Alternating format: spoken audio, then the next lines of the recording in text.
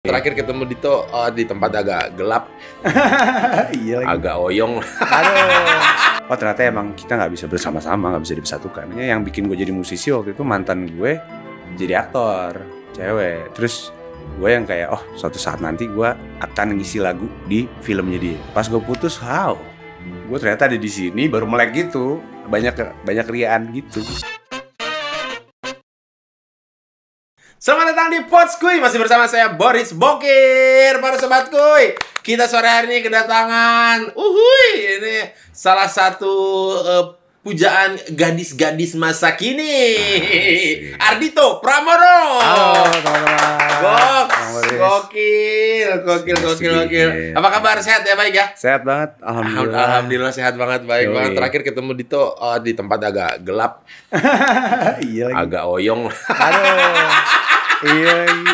ya mungkin waktu itu kesandung atau kenapa gitu di waktu itu. jadi agak pas lihat apa lagi gini gitu Eh, kalau kalau kita kan tahunnya kan kalau gua apalagi gua kan Eh. tahunnya tuh Ardito Pramono yang sekarang Iya. kalau SMA tuh sosoknya gimana sih sebenarnya gue dulu gue dulu eh, apakah diam-diam eh, menghanyutkan lugu-lugu brengsek atau gimana atau gimana lebih sih ke lugu-lugu brengsek Oh, sepertinya lugu-lugu brengsek Iya. Karena dulu tuh kayak eh, dulu tuh gue suka banget makan. Oke. Nah, gue suka banget makan terus sampai berat gue tuh 130 kilo. Hah? SMP pernah? Pernah lagi.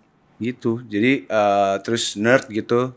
Sering dibully tapi sering ngebully juga Oh, Gitu. jadi memang memang buat bercandaan tongkrongan aja. Iya, benar. Bukan yang dibully karena emang dimusuhin dikerjain satu kelas enggak. enggak enggak enggak Berarti orangnya gak gampang nggak gampang baperan Nggak gampang gitu. baperan. Berani ngecengin balik Ah, ah, gitu. ah, ah. ya bulinya sih simple sih kayak ditembak pakai airsoft gitu Aduh, nggak simpel dong. Nggak ya, nggak Nah, itu ya. nggak simpel. Nggak ya, Dan itu jadi pertanyaannya ya. kenapa teman sekolah Anda bisa membawa barang itu ke sekolah ya? Bawa handphone aja kan dilarang ya, dititipin. Itu kan tadi sempat mention sempat menembus 130 kg Hmm. Iya. berat badannya. Terus gimana Betul. bisa menurunkan apa turning pointnya apa mendapat pencerahan apakah apa nonton YouTube Ade Rai? lebih ke yoga ya Yo wow, yoga. lebih yoga ya kita Sungguh-sungguh. Nggak, jadi waktu itu tuh gue eh, susah banget punya pacar Oke. terus gue pengen menaklukkan satu hati eh, wanita gitu Mhm. ya tapi wanita itu bilang ah kita kamu tuh udah kayak adik aku gitu Ah, tahu kan yang kayak Mohon gitu. maaf, resiko eh, cowok cabi. Ah, ah, Iya, gemas. karena enak eh ih gemes dipakai enak dipakai nyender aja Iya, gitu. bener. Tapi kalau untuk saya sorry guys, aku milih anak basket gitu. Iya lagi iya banget tuh Eh, iya banget. iya banget Iya makanya gue kan? kayak oke gue olahraga deh gue eh, apa namanya diet segala macam akhirnya turun SMA gue turun sampai 69 69. Hmm, sekarang naik lagi sih sekarang 78 Enggak, bentar. Itu kan eh, dari 130 ke Iya. 70 aja lah taruh lagi gitu Iya. ya. Itu kan bukan hal yang mudah. betul Knowledge diet, knowledge olahraganya tahu dari mana? Eh, jadi dulu tuh gue minum sebuah suplemen gitu. Oke. Ini gue jualan juga ya di sini ya. gue minum sebuah suplemen gitu yang emang dia menggantikan makan pagi dan malam Oke. gitu. Terus makan siang sebenarnya gue bebas.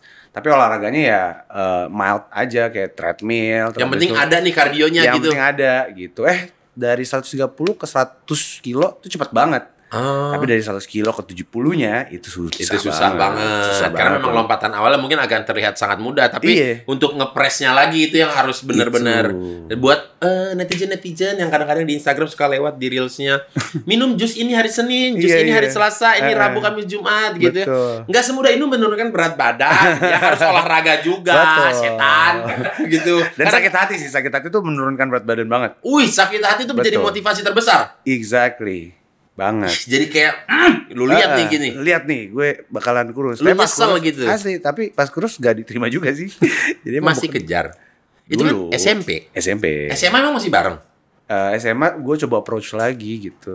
Lu berarti masih mencari tahu keberadaan Iya. beliau ini di mana, sekolah SMA-nya di mana gitu. Betul, masih. Tapi kayak, oh ternyata emang kita nggak bisa bersama-sama, nggak bisa dipersatukan gitu. Ih, wah, aduh. Nah, berarti itu kan salah satu memori terburuk mungkin ya Betul. di SMA. Tapi kalau memori terbaik di SMA kan rata-rata kalau anak sekolahan tuh ditanya memori paling gokilnya SMA biasanya. Kalau persahabatannya mungkin SMP, tapi paling pengalaman yang Ah. luar biasanya itu di SMA. Nih, di Iya. SMA apa memori Jadi gue kan sebenarnya tuh eh, homeschooling kan bang. Oke. Jadi gue pernah sekolah di sekolah negeri, Mhm. terus sekolah swasta juga pernah. Tapi kayaknya gue agak spesial dalam tanda kutip nih. Gue lebih suka bikin musik, gue lebih suka nongkrong gitu ya. Interestnya lebih eh, terlebih ke sana nggak ke pelajaran nih. Betul gitu. Terus akhirnya gue memutuskan untuk homeschooling. Oke. Oh, lu yang memutuskan? Iya. Lu bilang ke orang tua, gimana cara membujuk orang tua? Jadi waktu itu gue lagi pelajaran matematika. Oke. Gue kan emang nggak bisa banget matematika ya bang. Bisa lah. Ya dikit-dikit lah. Bisa hidup sampai sekarang ini bisa dong Iya, matematika. bener, bener, bener. Udah cuman yang kayak eh, Ya mungkin ketika- sin ketika- kostan gitu Nah, kan. kalau sin kos tangan mungkin agak bete sih ya kan. Iya kan. Terus habis itu gue gak pernah nyontek tuh. Waktu SMP gue nyontek banget. Oke. Tapi pas SMA, asli pas SMA gue yang kayak, gue kayaknya gak boleh nyontek deh. Oke. Akhirnya gue berusaha sendiri, dan nilai gue masih 5 gitu. Ah, oke. Terus guru gue pada saat itu bilang, eh pantas aja kamu nggak naik kelas gitu. Padahal gue nggak naik kelas itu gara-gara waktu itu gue sempet eh, foundation gitu di Sydney Oke. gitu. Terus habis itu Jadi lumayan Balik banyak kehebohan dengan ket- ketertinggalan lah waktu itu Asli, pelajaran. Terus balik-balik gue turun kelas. Terus Oke. gurunya ngomong gue gak naik kelas gara-gara gue masih matematika. Padahal dia nggak tahu kisah aslinya tuh gimana. Ah, Oke. Gitu. Terus habis itu gue turun ke eh, kepala sekolah, Hmm. ruangan kepala sekolah. Gue bilang, Pak, saya hari ini mulai dari hari ini saya udah nggak sekolah di sini lagi. Ibu saya akan jemput. Eh, terima kasih banyak atas jasanya segala macam. Tapi saya nggak bisa diomongin kayak gitu sama gurunya. Gitu. Saya nggak cocok aja mungkin sekolah di sini. Gitu. Terus kepala sekolahnya agak kaget dong. Kaget. Dengan ini anak SMA yang sangat bijak ini. Iya. Emang ngomong apa Dito? Gurunya tadi gitu dong pasti dong. iya, kayak kenapa? Coba duduk dulu, duduk Eh, dulu. Ceritain gitu. dulu. Ah. Kepala sekolah jadi good cup-nya nih ya. Good cop. asli. Jadi gue bilang kayak eh, mungkin di pelajaran matematika saya nggak bisa eh, seperti teman-teman yang lain, tapi di pelajaran musik saya jadi leader band pak gitu. Jadi jangan pernah menyamakan eh, kebisaan atau eh, apa namanya anak murid gitu. Menyamaratakan semua harus Menyamaratakan gitu. gitu. Kan gue bilang gue pakai perumpamaan lagi zaman Hmm. dulu ingat betul. kan ikan nggak mungkin bisa manjat pohon pak Ah, gitu. Tapi ikan adalah perenang yang luar biasa. Iya gitu. Sampai ada istilahnya jangan ajarin ikan berenang Bener, gitu. Bener. Yoi. Mungkin gurunya perlu nonton film eh, buatan Amir kan namanya Three Idiot. Iya benar. Iya, kan Benar. itu ada yang hobinya beda-beda nggak bisa Ah, disamaratain semua jadi bisa. insinyur Ih, gitu. Setuju, setuju banget. Hey for all, B for ball, having fun idiot.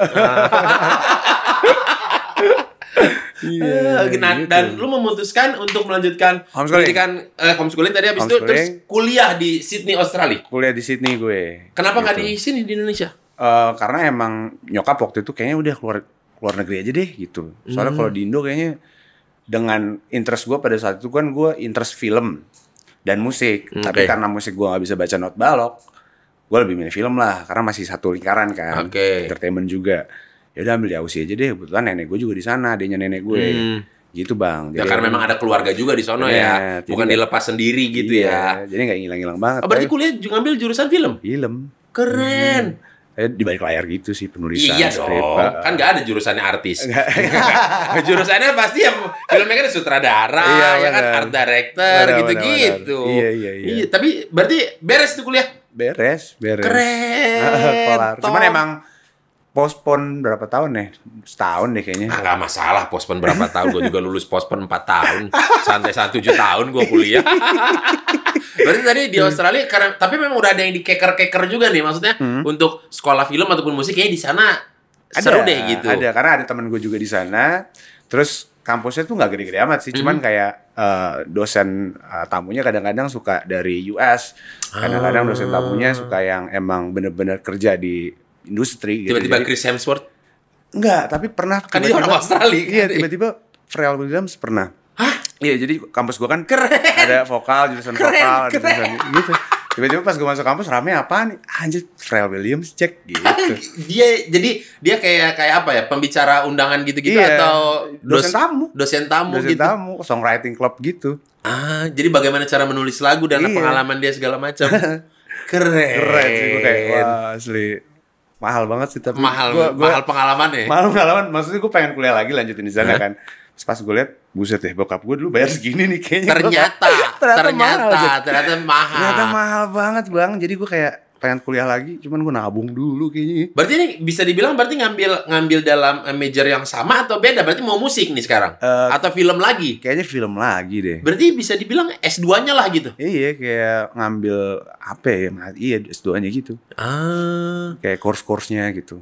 keren. Tapi memang lu ada bayangan maksudnya pada saat kuliah itu memang one day gua akan menjadi movie maker atau filmmaker gitu atau eh gue malah pengen jadi komposer eh, scoring ya pada saat itu. Oh, gitu. iya iya iya. Dan apa namanya yang bikin gue jadi musisi waktu itu mantan gue jadi aktor cewek. Terus gue yang kayak oh suatu saat nanti gue akan ngisi lagu di filmnya dia gitu. Di, di, di, di, Nggak kesampaian sih belum belum kesampaian belum sampai. Sabar, emang belum jalannya aja. Belum jalannya aja. Rancangan yang di atas yang terbaik. Betul. Iya, kapan tahu waktu timing terbaiknya Betul. gitu.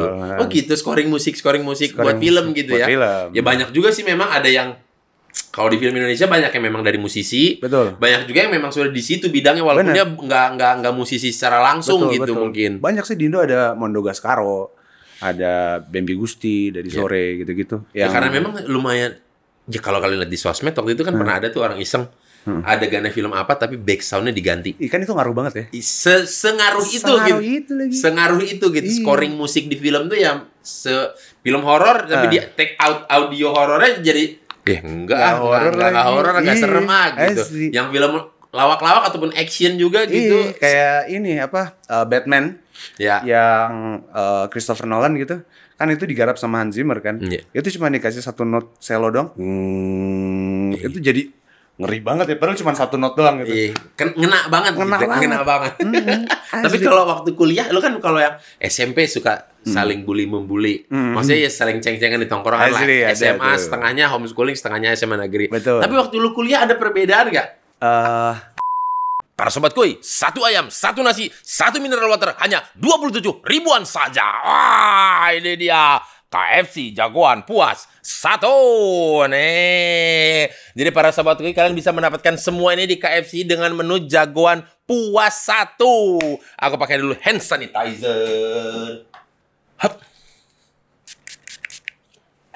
Berlebihan Boris? Oke, nggak apa-apa. Sekarang aku mau makan ayamnya dulu ya. Hmm. Hmm. Hmm. Ini berarti yang hmm, dada ini ya. Hmm. Hmm. Aduh. Asin-asin pedesnya itu. Aduh. Ayam KFC pokoknya juara banget nih sobatku. Crispy. Hmm. Terus dagingnya juga. Aduh. Juicy dan juga lembut sekali. Jadi, hmm. Oh iya sobat kuy, selain KFC jagoan puas satu, ada juga nih KFC jagoan puas dua dengan isian satu crispy burger, snack chicken ball dan juga satu air mineral. Yang mana harganya sama juga 27 ribuan juga. Ah, jadi sobat kuy, buruan aja kalian serbu KFC store terdekat atau cepat nih, ambil HP kalian, set, terus pesan melalui aplikasi KFC ku. Hmm, biar langsung cus cus cus dateng. Aku makan dulu deh. ada perbedaan pas kuliah gue lebih karena gue nggak dikasih duit jajan banyak ya bokap gue jadi gue harus kerja Oke, part time di Part sana. time tuh. Part time di sana kan lumayan. Enggak lagi. Waktu itu gue soalnya masih umur 18, jadi masih dibayar tuh 5 dolar per jam. Oh, karena karena faktor umur. Iya, jadi semakin banyak Belum dikasih jam banyak. Belum dikasih jam banyak, gitu. Hmm, tapi harus sambil mengisi itu dong. Iya, asli. Jadi gue pagi tuh kerja di coffee shop, jadi all rounder gitu. Terus habis itu siang gue basking, gue ngamen, ngampus. Malam gue kerja di ini nih. Lah, berarti bisa dibilang malah banyakan part time daripada kuliahnya. Iya, kuliahnya kan emang dari siang ke sore gitu, siang ke sore, siang sore gitu. Nah, itu kuliahnya tiap hari kah Senin sampai Senin sampai Jumat. Senin Ah. sampai Jumat dan Sabtu biasanya kita dikasih eh, kerjaan gitu dari kampus. Tapi kayak yang emang apa namanya Magang. magang gitu. Ah, pernah ikutan syuting di sana nggak? Pernah ikutan Ada syuting ada. terus ya lu ya Gue megang kamera. ah Iya, gue megang Film kamera. atau- Enggak, waktu itu Top Gear lagi ke Sydney. Top Gear dengan Top tiga Gear. orang itu. Iya, Top Gear lagi ke Sydney terus gue megang kamera gitu pinggir sirkuit. pinggir sini banyak kan mereka nyoba nyobain mobil, nyoba nyobain mobil dong. Nyoba mobil. wih. Itu kan di luar ekspektasi. Maksudnya Asli gua harusnya kan Jeremy harus macam. harusnya kan ya ini adegan film gitu. Iya. Sementara ini loh kenapa jadi ini ini the next level nih megang ngoperate kamera yang Iya. ngambil mobil lagi ngebut lah atau Iya. beauty-nya, beauty shotnya gitu-gitu. Tapi emang semuanya dipelajarin gitu bang. Gua ambil sebelum megang kamera tuh kita pakai handphone masing-masing. Oke. Kita harus cari perspektif dulu. Mhm. Jadi kayak belajar dari awal banget. Bahkan belajar ngegulung kabel sebelum kita megang lampu. Kayak misalnya ini lampu, ini kan lampu rigging ya. Hmm. Kalau misalnya lampu udah pakai stand gitu, harus pakai apa namanya sandbag. Iya. Ini kayak safety-nya duluan gitu. Ah. Belajar safety banget. Berarti belajar dari sebelum ini berdiri Hmm. gimana caranya belum ngutak-ngatik ini lu benerin dulu ininya nih dasar-dasarnya dulu nih gitu. dasar Gue sebulan semester eh iya sebulan gue belajar untuk lipet kabel, gulung kabel. Biar kabelnya nggak cepet rusak, biar Hmm. Iya, nggak iya, iya. flaming, biar Iya. nggak panas. Gitu. Oh, keren. Asli. Berarti waktu, kalau bisa ditanya kapan momen terbaik lu waktu kuliah? Momen terbaik gue pas kuliah kayaknya semuanya terbaik sih. Oh pas gue putus dari pacar gue, jadi gue udah nggak L- LDR. Gitu. Jadi gue sempat LDR setahun. Mhm. Terus kan bucin banget tuh kan, Skypean, video call Iya, iya, gitu. Pas gue putus, wow, gue ternyata ada di sini baru melek gitu, banyak banyak riaan gitu. Oh, banyak yang hal-hal yang lebih menyenangkan yang gue lewatkan di sini gitu. Iya, nggak cuma kuliah kerja kuliah kerja doang, ternyata ada Kuliah kerja ngabarin, kuliah kerja ngabarin. Asli. Kuliah kerja telat ngabarin di BT-in. bete. Iya Iya kan sih? Iya kan? Asli. Iya kan? Aduh, terus beda jamnya lumayan lagi kan, tiga Ya, jaman gitu. effortnya sangat luar biasa kan di Main antara lagi. kalian gitu ya. Iya. Entah lu yang begadang atau dia yang bangun kepagian Iya. atau sebaliknya. Apalagi kalau misalnya udah malam minggu gitu, dia Ah. pergi sama teman-temannya kan, gue harus begadang banget nih nungguin dia pulang gitu kan. Ah, ya ampun. nah, tapi kalau ini ada menurut info katanya, Iya. eh, apakah di Australia juga yang membuat lo jadi jatuh cinta sama musik jazz? Eh, salah satunya iya. Salah satunya, iya. Tapi Kenapa? Karena emang sebegitu waktu itu pas lagi galau-galaunya atau lagi Oh. masuknya si jazz ini pas kapan? eh, salah satunya pas gue lagi belanja di ada vintage market gitu. Oke. Terus habis itu teman gue baru beli turntable gitu, roommate gue kan. Mm-mm. Terus gue beli vinilnya deh, gue beli plat gitu. Ingin berkontribusi maksud hati. Ingin berkontribusi Iya kan? daripada beli piringannya Iya apa dong, itu lebih mahal. Iya kan? ya udah gue beli aja nih apa Vinil. piringan vinil eh, Amy Winehouse dulu. Eh, trash, eh, Loneliness is a Hidden Treasure waktu itu albumnya. Terus gue play. Ini tuh agak-agak ska tapi jazz. Tapi terus tiba-tiba ada lagu dari No Greater Love jazz banget. Terus pas gue cari-cari oh standards. Jadi situ gue belajar jazz tuh. Ah. Gitu. Amy Winehouse lagi ya. Amy Winehouse, legendary, Almarhumah. almarhumah. Ah, Iya, almarhumah udah meninggal Amy Winehouse Gua ya kan? alfa- kasih al-fatihah terus sih. Heeh. Back Back is Black. back back back to black. Back to Back Black. to black. Ada Iya. tuh salah satu lagi. Oh gitu. Yoi. Karena kan kalau nggak tahu menurut gue Heeh. orang awam nih ya, Iya. jazz itu the next level of musik gitu ya, nggak nggak Ah. nggak bisa sekali dua kali denger terus oh Upload, iya. eh gitu enggak ini Enggak, ya? ini harus melalui proses perkenalan yang begitu lama sama dia baru benar. itu antara suka atau tidak itu pun Betul, betul. nggak bisa in the middle nggak bisa Iya, nggak iya, bisa iya. gitu Benar, benar. antara suka atau benci gitu sama Iya, duren nggak bisa orang tuh so-so sama duren Setuju. suka banget atau enggak ah Iya, nggak mau setuju, gitu setuju, setuju. Cuman nggak tahu ya balik lagi ke rootsnya jazz itu kan musik buruh ya. Harusnya Iya kan harusnya musik buruh gitu. Jadi ya eh, kenapa dinamain blues karena pas di pas main ya hati orang-orang buruh itu lagi blue. Terus ngejamming bareng-bareng jadilah blues, jadilah jazz. Terus eh, diglorifikasi sama Amerika pada saat itu jazz jadi musik yang kelihatannya lo harus dressed up, lo harus make lo minum whisky di mahal macam. packagingnya sama mereka seperti itu Iya gitu. Padahal kalau zaman dulu di uh, New Orleans buruh banget tuh. Iya, iya, iya. Di bedeng gitu di dengerinnya. pubnya di lantai yang bawahnya gitu ya, Iya, bukan yang di atasnya gitu Asli, ya. asli, ya. Hiburan musik buat karyawan. Betul. Karyawan. karyawan kan mereka dulu mereka yang jadi waiternya kan gitu iya iya kan. benar benar. Apalagi kalau kita lihat di zaman-zaman tahun-tahun itu bahkan ada yang ya kafenya khusus kulit putih, Putih. gitu nggak boleh ada kulit hitam masuk walaupun dia Hmm. orang kaya apa bagaimana Iya juga. benar benar benar. Dulu Wah, ada parah. filmnya kalau nggak salah yang dia Ada The Green Book. nah, The ya, Green Book. Ah. yang dia jadi pemusik tapi di Dia masa bisa. itu Iya, nggak bisa. nggak bisa. Padahal dia jago banget dan Jago. itu based on true story. Iya iya iya. The Green Book. Sampai ruang tunggunya dipakai dikasih gudang seadanya Asik. waktu yang di clubhouse Iya iya iya. gitu-gitu. iya, iya, iya, nah, tapi kan kalau lu sendiri di Indonesia Hah. Eh, genre musik Ya. jazz ini kan lumayan ada di salah satu di atas di bagian Iya, iya. piramid ini gitu ya. Iya kan? Iya ada. Memang sih. ada yang ngedengerin dan mungkin Ah. secara eh, perekonomian ini orang memiliki daya beli dan spender, ya kan? Tapi populasinya hanya segini nih gitu.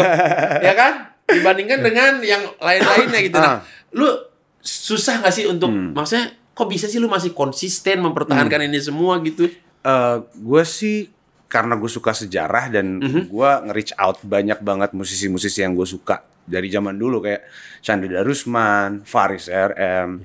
Mereka kan sebenarnya jazz Ya. gitu dari album-albumnya Faris RM gitu. Eh, banyak progresi yang kedengarannya pop tapi sebenarnya jazz gitu. Roots-nya gitu, basicnya gitu. basicnya tuh jazz gitu. Terus eh, itu juga jadi PR buat gue sih untuk bisa mengenangi genre ini tuh ada in the middle of eh, apa namanya in between lines gitu antara pop sama antara jazz. Jadi kayak lofi deh, lofi. Sekarang tuh kayak banyak orang yang dengerin lofi gitu. Padahal dia jazz and classical gitu. Berarti tinggal gimana pembawaan lu nya aja mem- mengemas itu semua Yes, gitu ya. Yes, betul Kan, kan ada yang kadang ada yang orang idealis banget kalau udah jazz tuh nggak bisa ditawar. Mm-mm. Ya jazz tuh begini, nggak bisa Iya. lu bikin-bikin begitu. Kolot banget. Ya Ada ada, tuh. ya kan ada yang gitu kan. asli ada, tapi ada juga Asli. yang bisa berevolusi. Tapi kan gue dengar juga dari orang-orang tua yang Hmm. oh yang yang bermusik atau mengajarkan kepada anaknya ya kalau bisa jangan satu genre doang. Iya betul. Kalau lu mau bertahan lu harus tahu semua genre musik. Iya gitu. makanya gue di album baru gue ini road trip Hmm? judulnya eh, gado-gado banget bang. Ah. Gue ada yang referensi gue Nirvana, Mm-mm. ada yang referensi gue asli, ada yang referensi gue. Gue lagi dengerin Radiohead banget. Ah. Ada judulnya lagunya gue tulis Nobody itu ngeband banget gitu. Terus ya ada yang tiba-tiba eh, apa namanya folk, ada yang jazz banget, ada yang Motown ala-ala Bruno Mars sekarang gitu. Nggak, itu kenapa bisa se? Gue ada gue ada itu. Iya. Maksudnya istilahnya Ah. range-nya bisa selebar itu dengan roots-nya jazz, gitu. Yoi. Karena mungkin karena emang gue nggak cuma dengerin jazz doang gitu ya. Gue gue penikmat alternative rock, gue penikmat eh, ska kayak uh, Amy Winehouse, terus gue penikmat eh, apa namanya lagu folk segala macem. Atau emang ini ego lu pengen lu kasih lihat jazz tuh bisa masuk ke semuanya. Iya, dan semuanya tuh kuncinya mayor 7 semua, jangan salah nih gitu. Jadi bisa dimasukin semua. bisa dimasukin gitu. ke semuanya Ke gitu semuanya, ya. yes. Dan juga para sobatku, ini Ardita ini sudah 8 tahun menjadi musisi dan mengeluarkan album yang berjudul sekarang ini adalah Road, Road Trip. Trip, yes. Nah, nah singkatnya tadi kan Ya. udah diceritain dikit nih ada berbagai jenis genre dalam album Road Trip Betul. ini. Tapi kalau eh, albumnya si Road Trip ini bercerita tentang apa? Eh, ini sebuah rangkuman dua tahun eh tiga tahun gue menghilang kali ya. Album yang terakhir kan gue bikin tiga tahun yang lalu bang. Judulnya Wijaya Kusuma. Iya. itu emang gue dedikasikan untuk Indonesia pada saat itu. Untuk musik Indonesia juga untuk ke era kemasan musik Indonesia tahun 80-an sampai akhirnya tiga tahun gue hiatus dan banyak banget kejutan-kejutan yang ada ya Sangat sangat sangat banyak Bang Boris eh, juga tahu. nilai-nilai kehidupan, Betul, intisari-intisari pembelajaran Exactly. dalam pertemanan. pelajaran-pelajaran yang sangat berharga yang Ya, datang saya banyak dengar cerita kamu dari Uus. Oke, lanjut. Wah Bang Uus tuh the best sih pas pas gue ada masalah gitu. ya. Iya, iya, iya. Dia lo orang pertama yang nelfon gue. Lu aman toh? Aman. Gue aman bang, aman. Thank you banget dan nelfon. Maksudnya gak banyak orang yang bisa melakukan itu Iya, iya. gitu dan eh, tiga tahun ini banyak banget kejadian dan ini adalah rangkumannya gitu. Hmm, road trip akhirnya lu ini. bisa mengamini, mendamaikan hati, Betul. akhirnya mengamini itu semua menjadi ini kayaknya di- dinamain road trip oke nih. Yes. Karena yes. ketika ketika kita road trip kita nggak tahu apa yang terjadi satu detik di depan gitu. Iya iya betul banget. Jadi Hmm. harus apa namanya extra careful gitu. Asli. Tapi lu sendiri pernah melakukan road trip? Pernah lagi gue. Pas Dari mana kuliah, ke mana? Pas kuliah. Oh, kuliah berarti di di Sydney, di di, Sydney. Australia. Gue sama teman-teman gue dari Sydney ke Brisbane semalam nggak tidur, minum energi drink gitu, wah terus nyetir sampai pagi. Gue udah sampai Brisbane tidur, bangun-bangun sore. Ah, boleh. Tapi emang kenapa emang, emang emang biasanya orang-orang sono bercandaannya begitu. Maksudnya bercandaan berarti eh ke sono yuk gitu kan kalau misalnya sini eh gabut ke mana Bandung yuk Bandung gitu pakai Eh. mobilan gitu. Eh, road trip di sana tuh menyenangkan karena banyak kota-kota kecil yang kayak cuman ada 14 rumah. Sangat gitu. banyak di sana tuh populasinya camper van kan. Iya iya. Yang banyak mobil banget. yang udah kayak rumah gitu. RV Jadi ada ada gitu. RV gitu Mm-mm. semua. Uh ke mana seru jalan. banget sih. Itu cita-cita gue sih kalau udah tua. Gue pengen beli RV terus gue pengen keliling dunia gitu terus mati di, matinya di Tibet gitu Wih, Iya kan? rencananya ke Tibet, di Tibet dia loh. Ha, itu di situ kayak lagi mendalami eh, Buddha kayaknya waktu di Tibet, Iya, iya. mendalami agama gitu. jadi monk gitu kan hidup tenang, gitu jauh dari hingar-bingar kota. asli seru banget sih Tapi kalau lu yang paling esensi dari road trip sendiri, kalau menurut lu apa yang paling serunya? yang paling seru proses kreatifnya sih maksudnya menjalani semua kejutan-kejutan ini dan kembali ke studio dengan semua perasaan dan pikiran yang penuh dan harus nulis lagu Itu kan butuh kedewasaan yang lebih ya, maksudnya. Mm. Lu butuh kesabaran yang luar biasa dengan segala yang terjadi. Kan kadang-kadang ada orang yang kayak menyesali bahkan belum berdamai dengan Betul. dirinya, maksudnya kayak Betul. masih kesel dengan kejadian A Ah. B C D gitu. Mhm. Berarti lu sampai bisa menamai album lu, Ah. jadi lu ah mungkin itu bisa gua tuangkan ke dalam album gue. mungkin gue udah ada di udah udah belajar untuk menerima udah ada di fase acceptance gitu. Tapi pas gue ngerasa prosesnya udah selesai ternyata prosesnya baru mulai gitu. Jadi it's like a, like cycle aja gitu yang nggak berhenti berhenti menurut gue dan itu terus bikin gue semakin merunduk lagi semakin semakin ya nggak bikin onar lagi. Itu bukan onar lah, itu hanya perbuatan ugal. Semua orang pernah kepleset. iya kan bisa Semua orang putar balik. Nah, tapi ini menurut info yang beredar ini katanya eh, ini lagunya semua dalam bahasa Inggris. ya betul. Apakah itu persiapan dengan dengan kecanggihan sosial media dan ini Eh, sudah persiapan? Apakah ada dulu dengan kelas dengan Mas Pharrell Williams? Siapa tahu, siapa tahu kan?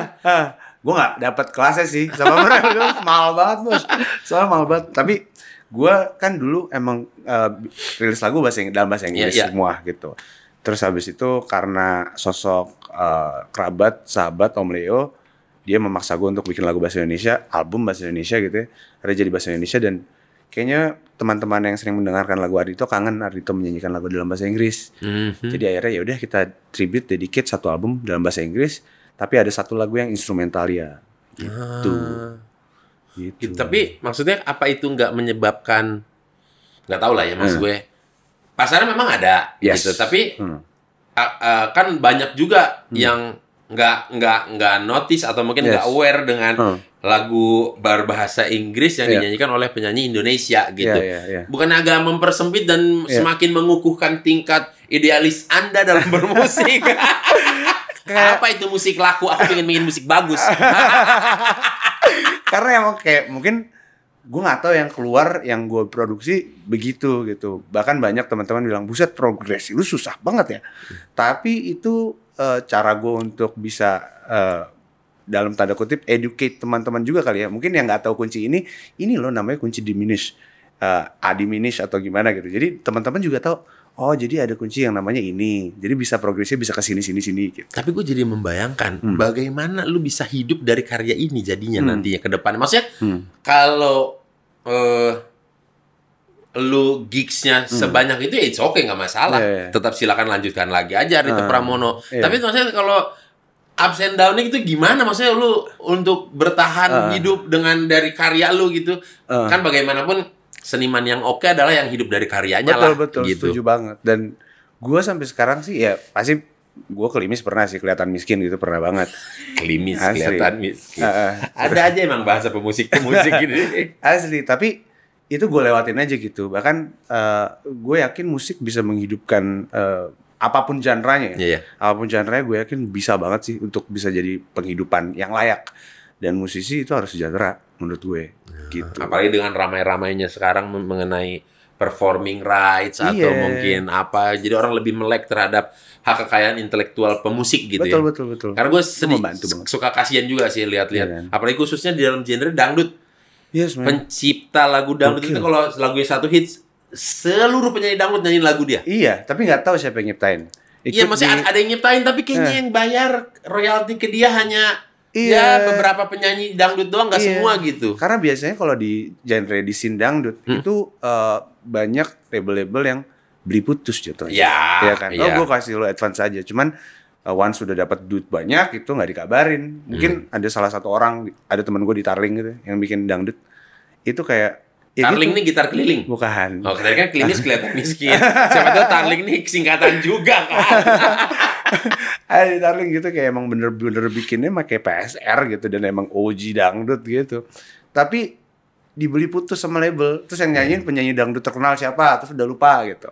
Ya, Gitu, ya tapi- mungkin pada masa itu memang knowledge-nya Iya. belum ke arah sana Iya. gitu untuk oh ternyata nih ke depannya ada loh performing rights, ada Betul. tuh hak kekayaan intelektual. Mungkin sekarang Nah, mereka udah pada melek-melek melek juga sih gitu. dan ada teman gue juga di Jogja eh, pencipta lagu koplo Kuku Prasetya Mm-mm. yang nyiptain eh, Mendung Tanpa Udan gitu. Kuku sekarang sangat Yang bareng sama anak Segidok.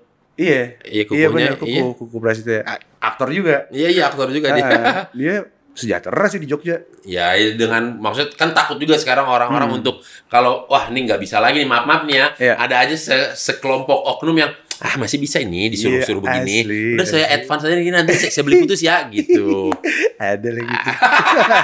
ada lagi berarti kan kalau kalau Iya. eh, Ardito sendiri si album road trip ini Hmm. album yang bercerita tentang proses lu menjadi ke arah yang lebih baik Hmm. eh, arah yang ke lu lebih dewasa atau yang bagaimana sih Eh, arah yang lebih dewasa pasti ya, lebih lebih bijak, lebih eh, mungkin dari segi musik lebih eh, nggak macem-macem ya gitu. Cuman emang lebih eh, wide aja sih, lebih gado-gado gitu. explore lebih ugal-ugalan ya Lebih ugal-ugalan asli.